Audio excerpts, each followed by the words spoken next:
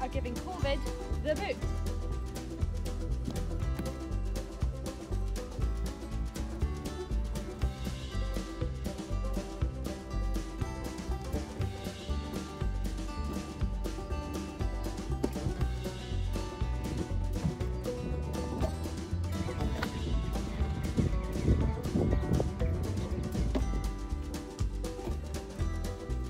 Stay home, stay safe, and give COVID the boot.